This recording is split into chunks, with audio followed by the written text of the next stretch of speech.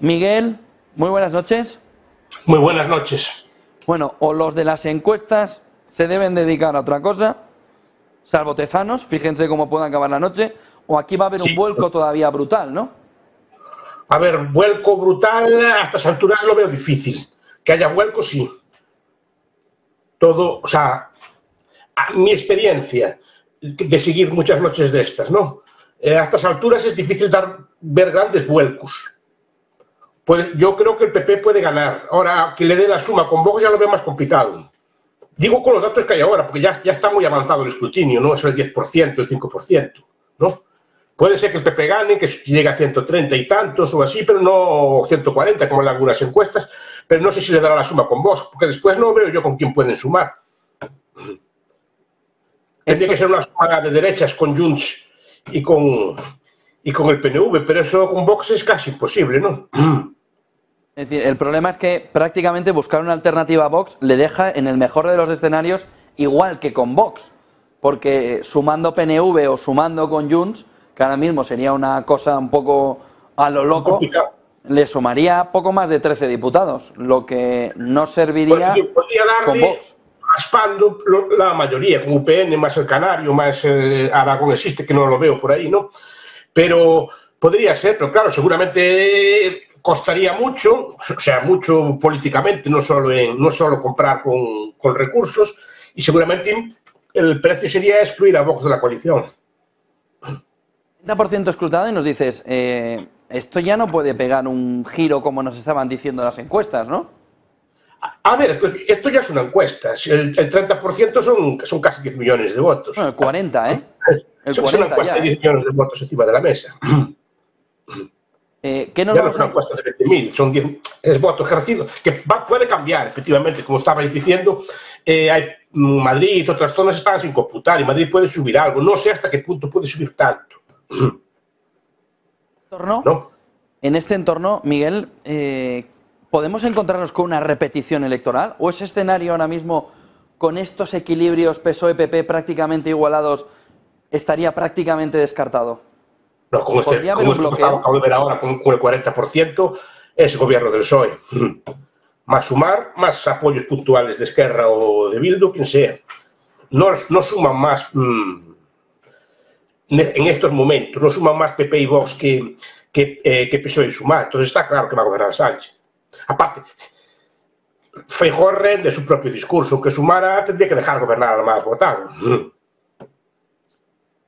Bueno, no, le no le cogió el acuerdo, ¿no? En campaña que después te podrían costar. Pero no le cogió.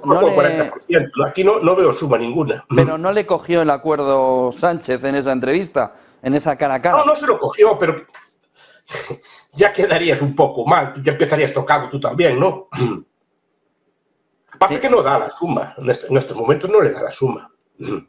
Eh, ¿Qué nos podemos encontrar mañana en un gobierno, en un hipotético gobierno del Partido Socialista con Sumar y con todos los demás, con los otros? Llegarían los dos y los demás ya, es que ya ni siquiera, ya muchas veces ya llegaría con que se estuvieran. ¿Ya llegaría cómo? Con que se estuvieran, con, con Esquerra solo ya llega para sumar, ya suma más en, estos momentos, PSOE más sumar que, que, Vox y PP, o están empatados. Entonces, con cualquiera de estos partidos ya llega para desempatar, salvo que se junten todos a la vez. Y no creo que, que Junts, PNV se junten a todo esto, ¿no? Eh, ¿Qué ha cambiado para...? Podría ser, yo no sé, pero yo lo veo, sobre todo si, si queda el PSOE de primera fuerza. Miguel Ángel, Quedaría eh, muy tocado, aunque lo pudiera hacer. ¿Qué ha cambiado para este gran vuelco electoral del Partido Socialista entre las municipales y ahora? ¿Tan mal ha sido la campaña de Feijó? ¿Tan mal ha sido la campaña? El electoral, no estamos, o sea, te estoy hablando con datos así muy... Sí, sí, sí. Yo lo veo, a ver, yo que primero a lo mejor se da la vuelta y, esto, estamos hablando de más, por eso estamos, estamos muy así. Yo creo que puede, el PP puede ganar, ¿eh? Puede ganar en escaños. Que le dé la suma ya, ya lo veo más complicado. ¿No? De momento están en 160 y 161, PP y Vox que son los que pueden sumar así coalición. Eh, ¿Qué puede pasar? Pues una mala campaña. Eh, yo, creo que Feijóo se confió demasiado. Ya empezaba casi a repartir ministros, ¿no? y no y allá hacer ofertas y cosas por el estilo y así ya gobernar, eso no se debe hacer nunca. Porque mucha gente le, le puede molestar. Y después, claro, algún fallo tuvo que haber. Eso lo, lo, lo, iremos viendo. Después, repito, estamos hablando que aún sin, sin acabar de contar los votos y sin acabar de contar los votos en determinadas comunidades. Yo creo que el PP puede ser primera fuerza. Eso sí. El, lo que también es evidente, o lo que también se empieza a ver, es que llevamos el 40 y...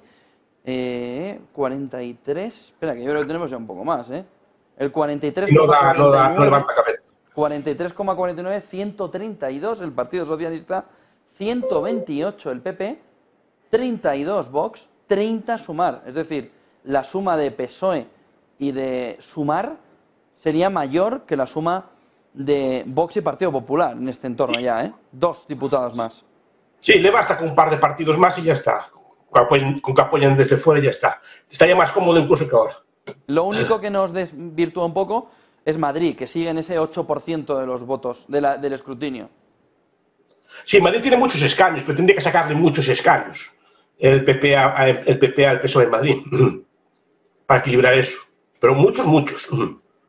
¿Va a cambiar mañana, Miguel Ángel, y ya te dejo eh, el mensaje de los políticos gane quien gane? ¿Vamos a pasar del gasto-gasto al hay que apretarse el cinturón? ¿Va a haber ah, un claro, movimiento claro. en esa zona? Eso mañana mismo, en cuanto, en, o mañana mismo no, una semana o después, después de la investidura. Además, las medidas duras siempre se toman los primeros años del gobierno, los primeros meses, que es cuando, está, cuando tienes menos problema. Pues Desde luego, si esto sigue así, las encuestas fallaron casi todas. ¿eh? Pero, sí. a ver, falta por contar y puede, puede, repito, yo creo que el PP va a quedar de primera fuerza. Bueno, pero no, que no le va a llegar. Con el 43% no está tan claro, ¿eh? Ahora mismo. Que, que, pueda llegar a, por ejemplo, 133, 131, sí, pero que no, que no le va a sacar. Yo creo que no le va a sacar mucho. Y así esa suma no da. Porque estamos pensando solo en sumar, ¿no? porque después hay un montón de partidos. Te, tenemos a, a, Bildu, tenemos a, a tenemos a la RC, tenemos, y Bildu le ganó al PNV también. Son, son que no, no lo castigó el, el apoyo. Muchísimas gracias, Miguel Ancho Bastos, por acompañarnos. Buenas noches y Buenas buen noche. final de escrutinio. Sí, va a estar ajustado, a ver cómo, Y mucho. cómo queda. Claro. Pero mu mucho me extraña que se equivoquen tanto las encuestas, ¿eh? pero bueno. Bueno, hasta ahora son las grandes perdedoras, ¿eh? Yo creo que sí. De esta, bueno, hasta Tezano sale victorioso de esto. Sí, sí, sí, sí, sí. Porque, porque, porque sería la única que acertó. De momento sí. No, no, no tiene más, más sentido que esto tampoco se prevé que vayan a intervenir. Simplemente es un gesto de decir, pues estamos aquí con vosotros, estamos dispuestos a colaborar con vosotros y es un gesto, digamos, efectista, pero no le veo yo tampoco que tenga especial pues, relevancia militar en, en el conflicto. Estos eh, momentos, eh, además, eh, todas las medidas anunciadas por el Gobierno están puestas en el punto de mira. Hay una convocatoria electoral, los comicios del 23 de julio, y ahí están concurriendo los distintos protagonistas, las distintas candidaturas para tratar de eh, conseguir esa representación y alcanzar el gobierno. Eh, es un momento en el que, eh, por supuesto, el gasto en defensa también forma parte, una partida importante, pero estamos viendo cómo dentro de lo que son los programas electorales económicos, en el debate no entra tanto, pero sí que eh, hay fuertes discrepancias, corrección por parte del Partido Popular en leyes aprobadas eh, por el Partido Socialista, eh, el Partido Socialista enfocado en el crecimiento, la mirada puesta en cómo crece la deuda, cómo se está emitiendo deuda. En este momento, en esos programas, eh, ¿cómo, ¿qué destacaría ahora mismo en esa pugna por el 23J? Primero, la continuidad. Los dos partidos que van a, que presumiblemente pueden ganar, no hay gran cambio. El PSOE, por ejemplo, no tiene medidas estrella, solo, solo algunos, peque, algunos pequeños cambios en, los, en la, en el, en el paro a, a, larga duración y, a, y, alguna pequeña retoque más en los, en los, autónomos. Y el PP lo mismo. El PP lo, lo, el, la medida estrella es una, es una bajada de los, de los impuestos, que falta por concretar cómo y cuánto.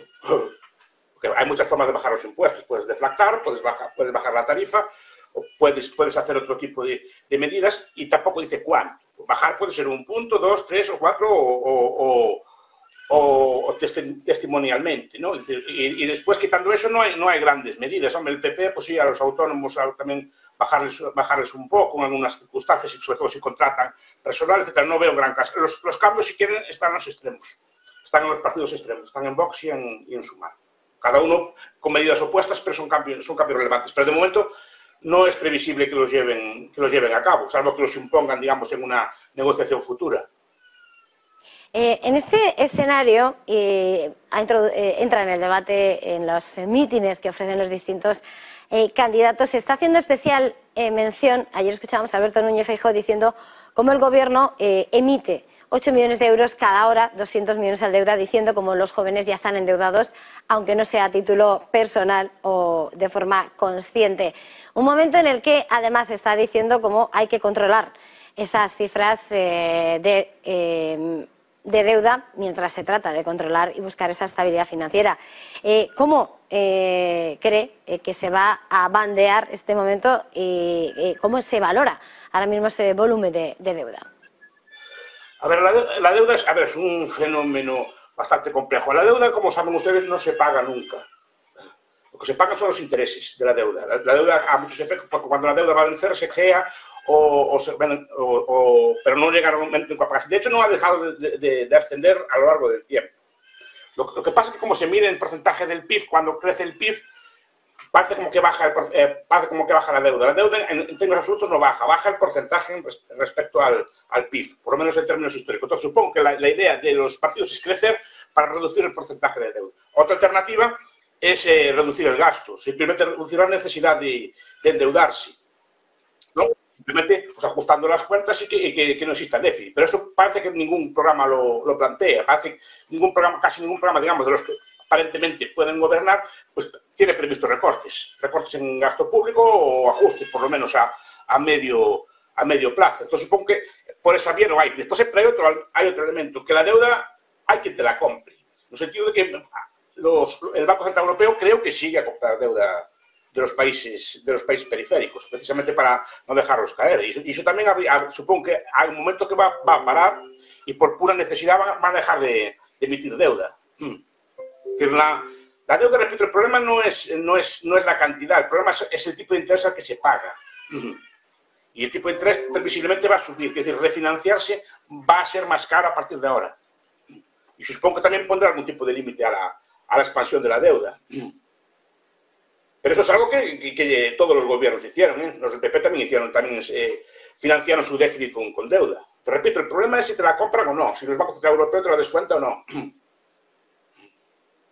Mientras no haya un cambio de política monetaria en el Banco Central Europeo, muy, difícil veo que haya un cambio de, que haya algún tipo de interés en reducir la, financiación. Porque si está financiando muy barato, ¿por qué vas a renunciar a eso?